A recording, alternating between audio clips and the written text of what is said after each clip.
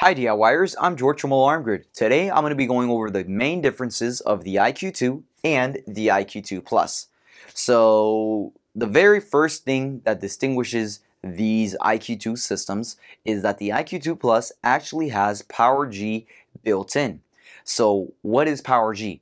PowerG is a different kind of sensor that DSC manufactures and uh, with the actual IQ2 Plus because that's the one that has the PowerG daughter board card built in, you can use PowerG sensors at a maximum range of 2,000 feet, and then if you add a repeater, you can even extend that to about 4,000 feet.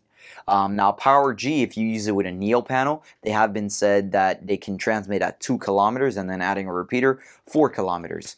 Uh, so it's just something to keep in mind. With the IQ2 Plus, the PowerG sensors are rated to work at about 2,000 feet. With a repeater, it would be 4,000 feet. Um, now, that is the IQ2 Plus. The IQ2 does not have PowerG built in. The IQ2 just has the normal 319.5 megahertz receiver, which means it'll work with Qolsys sensors, the S-Line sensors, and the Interlogix sensors. Um, now, the IQ2 Plus, on top of having the PowerG daughter board card built in, it also has uh, another legacy card built in. So there's actually three different flavors to the IQ2 Plus. There's the IQ2 Plus with PowerG and um, the Qolsys Legacy and Interlogix, so it would support S-Line and 319.5 megahertz frequency sensors. There's the IQ2 Plus with PowerG and Honeywell and 2GIG daughter board card built in. That means it supports the 345 megahertz frequency. And then there's the IQ2 Plus with PowerG and DSC sensors, which means it supports 433 megahertz receiver. Um, so there's the three different flavors.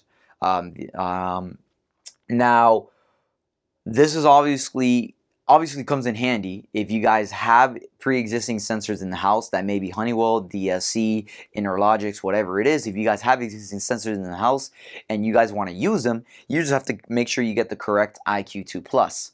Um, now, if you have Honeywell or DSC sensors, that's probably when you would need the IQ2 Plus. If you guys have normal Honeywell sensors, you guys can get the no. I'm sorry. If you guys have normal Qolsys or Interlogix sensors, you can always get the normal IQ2.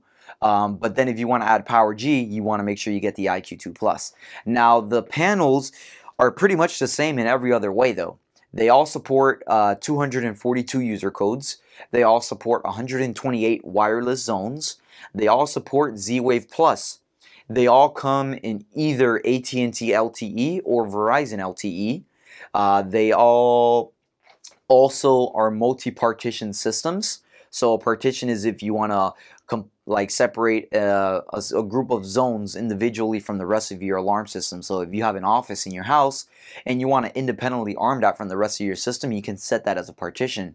The IQ2 and the IQ2 Plus both support up to four partitions. One other thing about the IQ2 and the IQ2 Plus is that they both use Alarm.com service. So if you guys are looking at getting these systems monitored or even self-monitored, meaning you only have access to the application only, and then it's up to you to contact the authorities, um, we do have self-monitoring and monitoring plans, but they both require alarm.com. They both connect to the alarm.com servers, and that's what you would use to actually control your system from your phone, and that's what the system would report to um, in the event of an alarm. Now, both systems also have Wi-Fi built in. So they can actually connect to your Wi-Fi as well as a cellular connection and uh, basically it would be using both communication paths to send out any alarm signals in case of an alarm.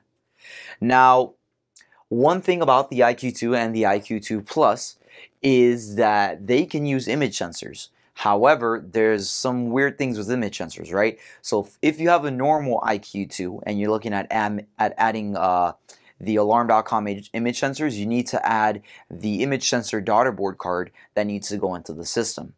If you guys have a system that's using PowerG, the IQ2 Plus, uh, you guys can also use alarm.com image sensors or you can use PowerG image sensors. They pretty much both do the exact same thing. Image sensors is basically a motion sensor with a built-in camera. When it detects motion, it takes a still picture and it sends it to the panel and it also sends it to the alarm.com application. Now, the caveat I was talking about was if you have a Power G, an IQ2 Plus, and you're looking at using an Alarm.com image sensor, the Power G daughterboard card and the image sensor daughterboard card can be installed, right? There's enough slots for all of them, but the only thing is the antenna uh, that it uses. Both the Power G and the um, Alarm.com image sensor daughterboard card use the same antenna. So if you guys have an IQ2 Plus and you end up getting a, power, a daughterboard card for the Alarm.com image sensors, you need to pick and choose which which daughterboard card you're going to use the antenna for. Now, what this is going to mean for you guys is if you're using Power G for the range to do the 2,000 feet, you're not going to get the 2,000 feet if you switch the antenna to the Alarm.com image sensor daughterboard card. You actually, it's going to drop down to about 3 feet. So 2,000 feet to 3 feet it's going to be quite a difference. So make sure that if you guys are planning on using the alarm.com image sensors and you're using that daughterboard card, you might as well just get a normal IQ2. There's no reason to get the IQ2 Plus. Again, unless you have wireless Honeywell or DSC sensors, then you kind of need the IQ2 Plus.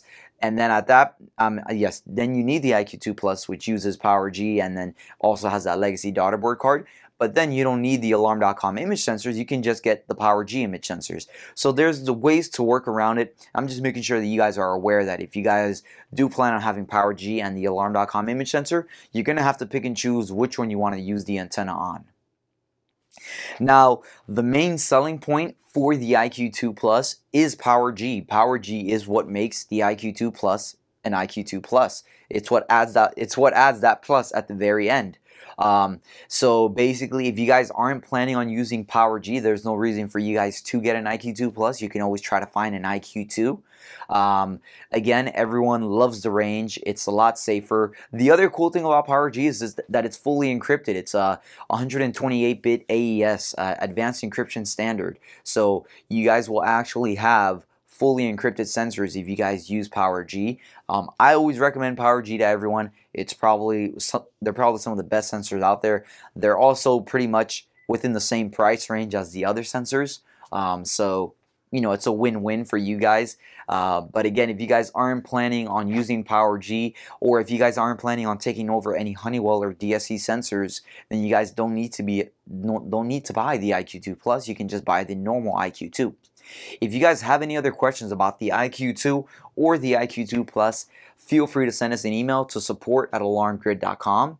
Um, also, if you're interested in monitoring, feel free to contact us as well. We do monitor IQ2 Plus systems and offer alarm.com support and a lot of free technical support as well to all of our monitored customers. If you found the video helpful, make sure you hit like underneath, subscribe to our YouTube channel, and hit the little bell icon to enable notifications so when we upload new content like this, you guys get notified. I'm George, and I'll see you guys next time.